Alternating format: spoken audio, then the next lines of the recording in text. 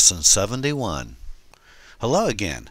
In this lesson, I'm going to show you how I built this 11 by 14 inch view camera from scratch. But first, I should tell you why I decided to undertake this project in the first place. As you may or may not know, view cameras have been around almost as long as photography itself, and they have the ability to produce very large images with incredible detail and clarity. Although I already owned an 8 by 10 view camera, I wanted one that produced an even larger image, but didn't want to have to purchase one.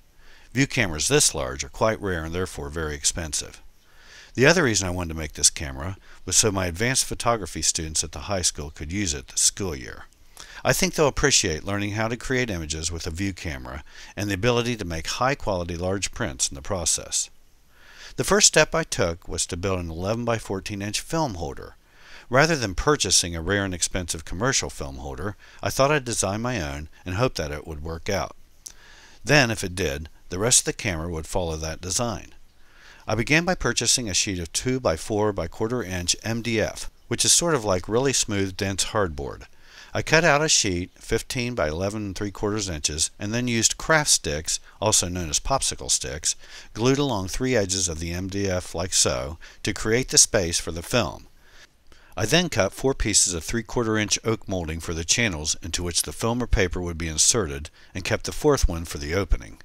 I mitered the molding, glued it over the popsicle sticks, then clamped it for drying. I repeated the process for the other side so the film holder would hold two sheets of medium, just as the commercial versions do. For the dark slides, I had ordered McMaster hard and strong Garolite X black, 1 32 of an inch thick, 12 by 24 inches, and cut out two pieces, making sure that they were exact and would slide neatly into the channels. My next challenge was to create the rear standard that would accommodate a rear viewing panel that would accommodate the film holders. I knew I wanted the standard to be square so that I could compose both vertical and horizontal shots by being able to load the film holders from the side or the top. I decided to make the standard 18.5 inch square. I used half inch poplar for the standard, mitered it, glued it, and clamped it until it was dry. For the panel, I began with an 18 by 18 inch piece of MDF and cut out an opening the size of the image my film holder would produce, keeping it offset to allow room for the film holder to be inserted. I then built the track for the film holder using 1 by 3 inch poplar for the frame and 1 by 1 inch molding to create the channel. I used standard window screen clips to provide tension for the film holder and attached it using a staple gun. Now that the rear standard was basically done, I moved on to the base. I used 1 by 6 inch poplar cut to 24 inches long for the base. I mulled over a focusing system for several days until I noticed an old Beseler enlarger that had a nice rack and pinion assembly for focusing. I removed that from the enlarger and mounted it to my base as seen in this photo. I was so thrilled at how it worked that I was nearly delirious. I then started working on the mount for the rear standard until it was the right height to clear the two rods protruding from the gearbox. I used quarter inch bolts to connect the standard to the mount, keeping in mind that I wanted to be able to totally disassemble this camera when I was done. Once the rear focusing system was finished, I began work on the front standard. I needed to be able to move the standard backward and forward for focusing, but opted to create slots for the standard to move along for this purpose. I don't have any sophisticated slot cutting saws, so I simply used a quarter inch spacer and created my slots. I then made a front standard base out of a 2x4 and a piece of quarter inch plywood to get the height even with the rear standard. I used a combination of bolts and knobs to create a tightening function for the standard. I also wanted to be able to raise and lower plus tilt the front lens board, so I created a framework for that purpose. This time I used my scroll saw to create slots and then later attached the knob and bolt assembly to the lens board assembly, which was my next step. I made a frame for the lens board 6 by 6 inches using 1 by 3 inch poplar. I used a sheet of quarter inch oak for the lens board and cut a hole big enough to accommodate the lens. To attach the board to the frame, I used mirror clips.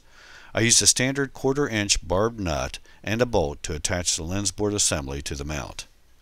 My next challenge was what to do for ground glass.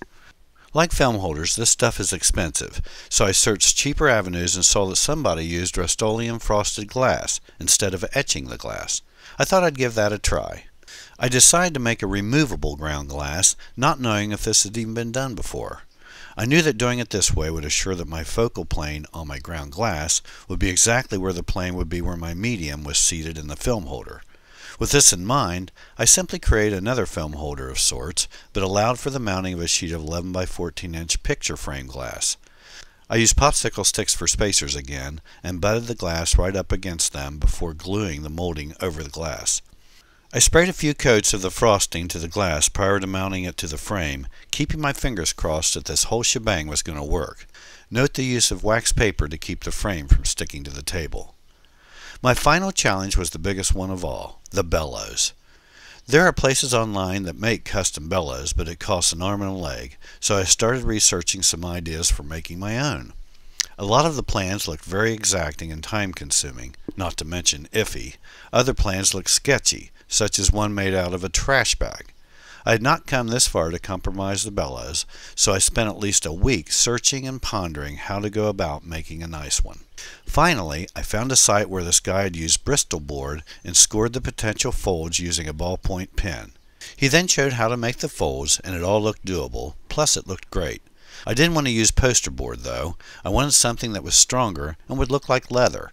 So I bought some faux leather vinyl and decided to try an additional step. But first things first, I had to figure out the dimensions my bellows was going to be. I knew it had to be 24 inches long since that was how long my base was. I also knew that it had to be 18 by 18 inches on one side and 6 by 6 on the other. So I went ahead and bought some black Bristol board and drew four trapezoids, 6 by 18 by 24 inches. Then I drew lines half inch apart along all four trapezoids. After cutting out the shapes, I used them as templates to trace out my four vinyl trapezoids. Then I spray glued the pieces together. Keep in mind that all the time I was doing this, I was wondering if I was even going to be able to fold this thick combo of Bristol board and vinyl in such a way that the bellows will actually open and close like an accordion. Now that the four vinyl trapezoid assemblies were dry, it was time to join them along the edges into a chute-like shape. I had read that hockey stick tape worked best for joining the sides, so I used that. I didn't shoot any footage of this step, but basically lay two of the trapezoids together side by side and then run the tape all along the length. Repeat this step until all four sides are joined as in this photo. Now for the fun part, making the folds. I can tell you right now to allow for at least an entire morning to do this unless your view camera is smaller and that by the time you're finished, your fingers are going to feel like they've been tied into arthritic knots. Begin on the largest side of your chute and bend the vinyl along the score you drew on the Bristol board outward until it's at a 90 degree angle. Then fold the adjacent side inward all along the score. Alternate between outward and inward folds until you've completed all four sides. Then start with the next scored fold and repeat the process. You have to do this all along the entire chute until you're done. There's going to be times when you have to crunch the edges together to make it all work, but once you get the idea, it's just a matter of time. A lot of time. And here's what my finished product looked like. Not bad for my first bellows, and the good news is that when I squeezed it down like an accordion to test it, it compressed itself into a tight, thin package just like it was supposed to do. I then attach both sides of the bellows to the front and rear standards of my camera respectively, using Velcro strips just in case I ever need to remove it for repairs. I couldn't wait to test my new camera, so the first thing I did was try to make a macro shot of a vase of flowers. That was when I realized I had a serious problem. I'd mounted my 210mm Fujinon lens from another camera on the lens board, which clearly wasn't adequate for a camera this size. I was just barely able to get my subject in focus, and when I did, the front and rear standards were at the shortest possible distance from each other, and my bellows was nearly fully compressed. I had known this lens would be shaky, but not this bad. So it was time to find a lens that would work for 11 by 14 inch format. I finally found this lens on Etsy. It's a vintage 17 inch 430mm f10 Bausch & Lomb process lens manufactured in the 60s. This lens has no shutter, but I figured I could live with simply opening and closing with a lens cap. I mounted the lens on the lens board and was thrilled with the results. Nice and bright and super crisp. The only downside was no shutter, which I really wanted to have. I did some research and discovered Packard shutters, which open and close by using an air line. I bought one on eBay and mounted it just behind the lens. Here's the Packard shutter in action. Note the airline coming out of the bottom, which is connected to a piston cylinder assembly at the lens end, and this turkey baster I bought to use as an air bulb on the other end. I was even able to sync the shutter for flash by way of a sync cord, which was a huge plus. Now let's take a look at my camera in action. Here I'm showing the front standard movements that will aid in composition, focus, and depth of field. I can adjust the rise and fall by loosening the side knobs and raising and lowering the standard as needed. I can also tilt the lens forward and backward if desired. And I can also swing the lens by loosening the bottom knob like so. Finally, the standard can be moved forward and backward as needed. In the back of the camera, I can focus by simply turning the knobs forward or backward until I get a crisp image. Gotta admit, that Beseler Enlarger had an excellent rack and pinion gear assembly going for it. And here I'm changing the format by rotating the entire assembly. By rotating the removable back clockwise, I'm able to go from a vertical to a horizontal format easily. When it's time to load the film holder with film or photo paper, I slide the paper in under the dark slide in the channel provided and take care to push it in as far as possible. Keep in mind that you'd never load film or paper in a lit room like this.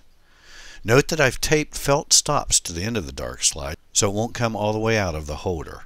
I discovered that removing the dark slide completely and replacing it often resulted in the slide going in on the wrong side of the film, which is not a good thing.